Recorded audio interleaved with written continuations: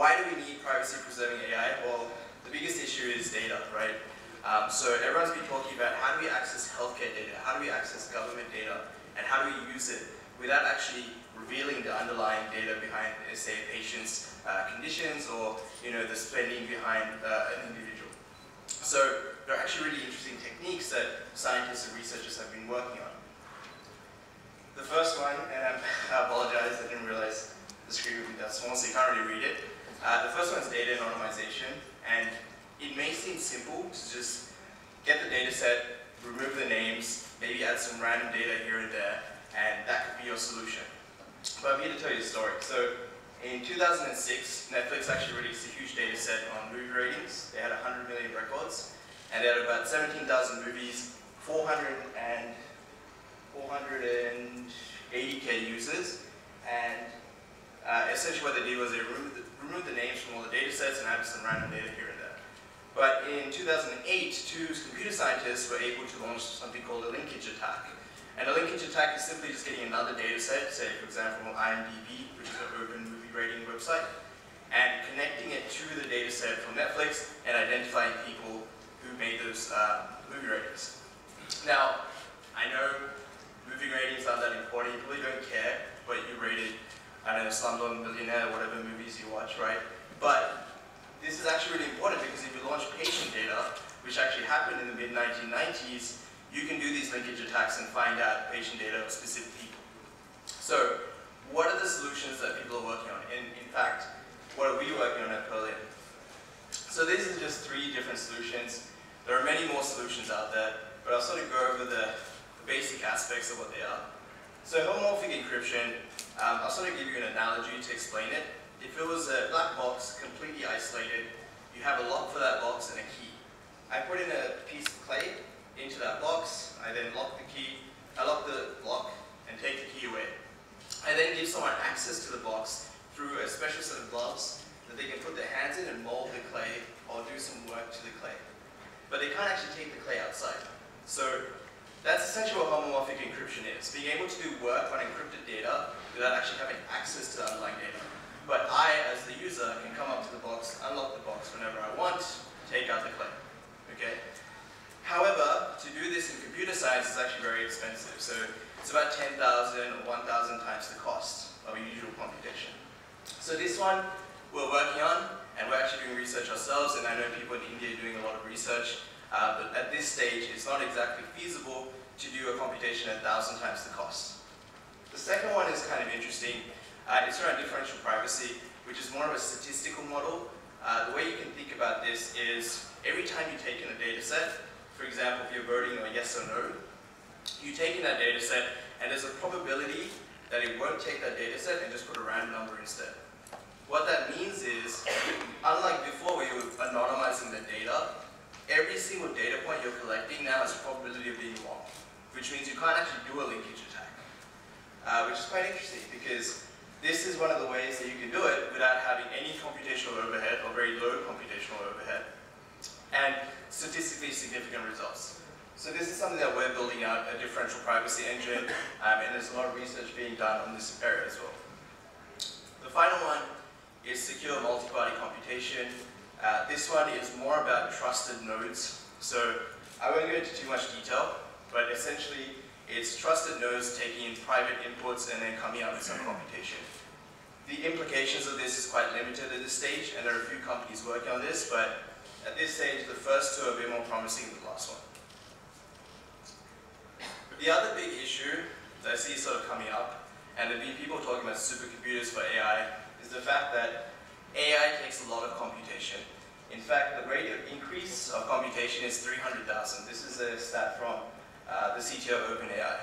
However, if you look at Moore's law, which is, you know, we double compute every 18 months, there's going to be a point at which we sort of eclipse that number. And it might not be tomorrow, might not be next year, could be in 10 years. But nonetheless, we need to start thinking about computing resources.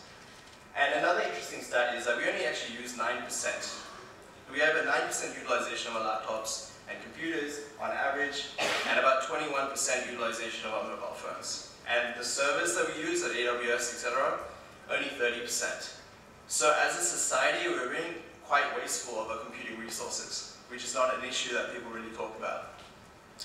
So, introducing Perlin. So Perlin is a decentralized cloud computing company. We're essentially an Airbnb for cloud computing. Uh, we connect mobile and laptop resources to people that might need it. For example, a lot of people in this room, AI scientists and machine learning people. So uh, the way we do that is that we have our own virtual machine, which is based on WebAssembly, which you install on your mobile phone or laptop or any sort of device that you can think of. And then we have this software development kit, which has privacy tools and anything you really think of to build out models that will run on this. And to machine learning and artificial intelligence uh, individuals is that we're actually much cheaper than our alternatives as well. So a bit about our company. We have about 100 uh, venture capitals and funds invested in our company right now. We have offices in Singapore, New York, and Hong Kong, and soon hopefully India. So this is one of the expansion markets for us, and we're very happy to be invited here to talk to you all uh, as our partnership with NITI Aayog. And as you can see, partnership with NITI Aayog, uh, Telkom Indonesia, and some other amazing people that have helped us on this global journey. Uh, two of the big uh, focus areas for us is actually India and Indonesia. And I think, um, did you want to come up on stage to announce the, the big announcement, I guess? Yeah? So, I mean, yeah, first of all, thank you very much to uh, everyone for inviting us down here. Uh, what we really wanted to announce to everyone today and my slide's still working at the perfect time. But, can we get my slides up?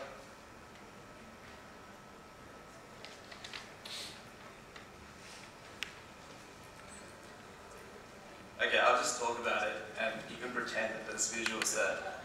Yeah, there you go. Okay, kind of ruined it. But we are announcing a global hackathon with India uh, and NITI Aayog. So this is the AI All Global Hackathon. We have judges from all over the world, Sequoia, IBM, Telkom Indonesia helping out. And what we do, what we're doing is inviting you all to submit machine learning and AI models to solve social impact issues in India and Indonesia and also across the globe. So, yeah.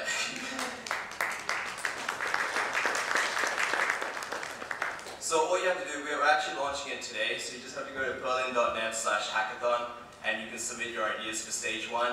You don't need to do any coding or anything like that, it's just simply submitting an idea.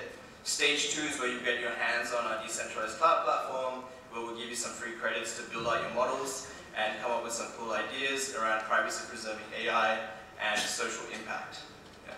Thank you. You want to add anything? No, I think I'll just start. Okay, cool. So yeah, I'll hand over to Ira to talk about India and privacy preserving AI, and also, Thanks, Ajay, for uh, launching the hackathon. So, uh, just to give an introduction, so the one consistent theme that has, uh, you know, uh, that we've seen in this conference has been, you know, this debate, or rather this conflict between, uh, you know, privacy of individual data and, you know, common good for the society. And at NITI Aayog, I think it's very important for us to share our perspective on this, on privacy preserving AI, on you know going beyond just the legal and regulatory frameworks, how it aligns with our national strategy, and what we propose to do next.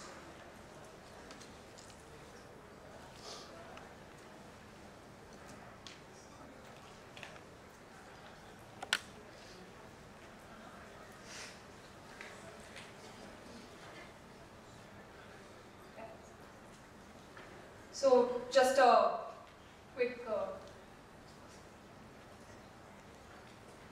yeah, so just quick background establishing the case for privacy preserving AI.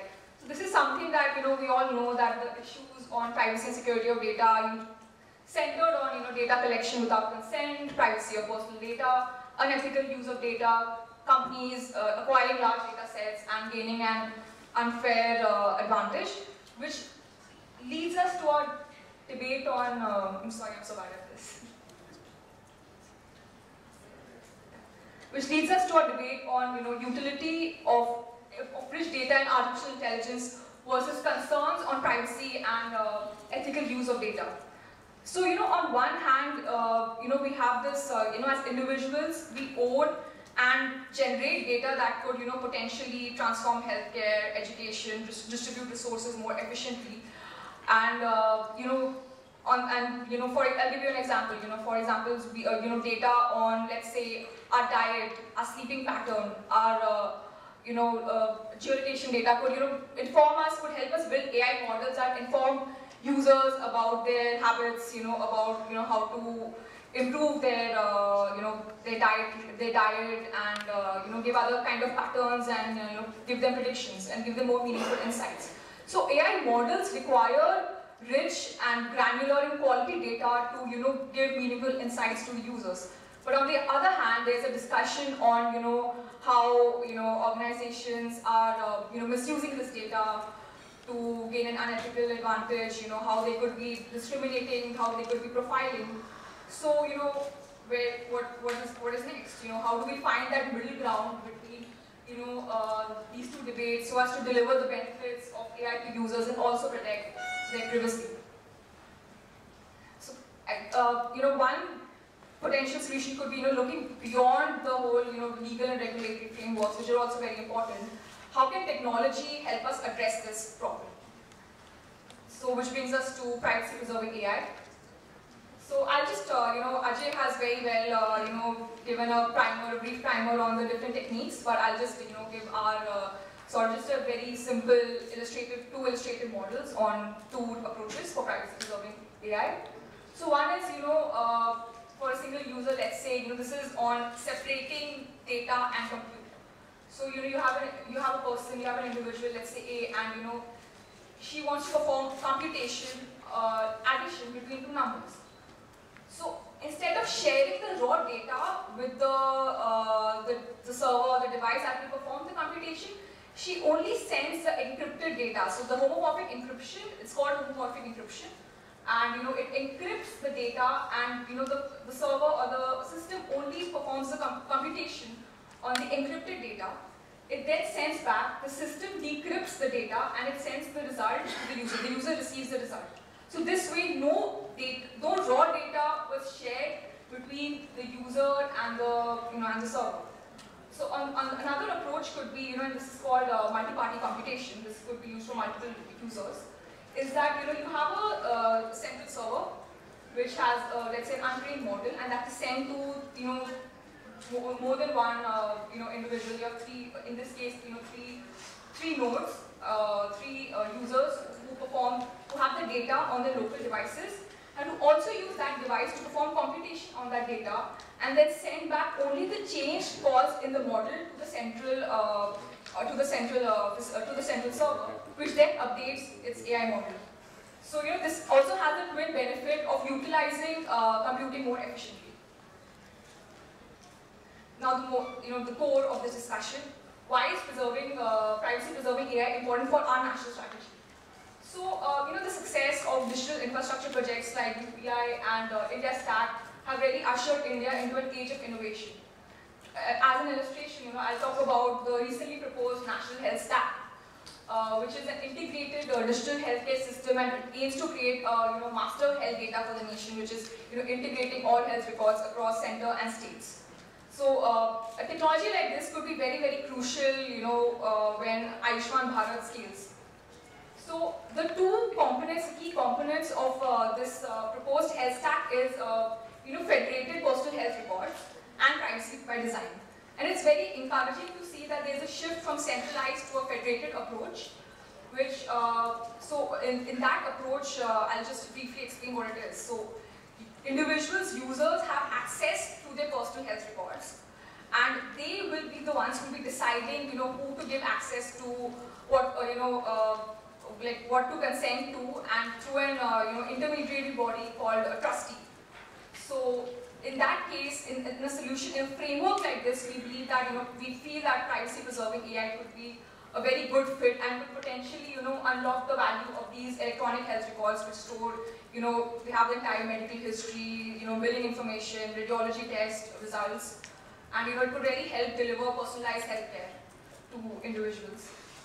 So while uh, you know this this uh, this area is very still nascent, and uh, you know the research in this area is gaining momentum, solutions of scale are yet to be seen in India. And if going forward, if we can prove the scalability, uh, you know, uh, it would be of value for us to embed this in our national infrastructure. So the way forward for us would be, you know, uh, we collaborating on pilot projects, uh, you know, for example, use cases, applications in healthcare and financial inclusion to study the scalability of these techniques. Uh, investing in areas of research like differential pri uh, privacy, privacy by design, safety critical AI, multi-party computations. We could introduce these as, uh, you know, I mean, uh, as research topics or uh, areas to study in, you know, the cores and ties that we propose in our national strategy. And, you know, uh, in the future, when the data, national data marketplace, you know, is, I mean, you know, we have a, you know, we have a framework, for, we already have a framework for that, but once it becomes complete, we can integrate this with privacy preserving AI techniques. We're also, we've also just today launched a hackathon, which Ajay introduced, AI for All hackathon, which is a first of its kind hackathon on uh, privacy preserving AI and uh, distributed computing. And uh, it'll be, it's, it's already live. And uh, you know, it's a two-stage, uh, it's a two-stage hackathon. In the first uh, stage, we are just inviting proposals on AI, you know, AI proposals on use cases in the social sector, in healthcare, education, urbanization, mobility, edu agriculture. And in the second case, in the second stage, we'll be, you know, uh, you know, evaluating the solutions on, the, you know, on their, uh, whether how well do they, you know, utilize uh, distributed computing, do they have an element of distributed computing, how well do they understand privacy preserving AI, and then of course they'll be mentored and they can they'll have access to the uh, to the libraries uh, I believe. And uh, yeah so I think you know this hackathon would be a very good medium for us to look at solutions and see if we could potentially scale them. So yeah that's it. Thank you so much.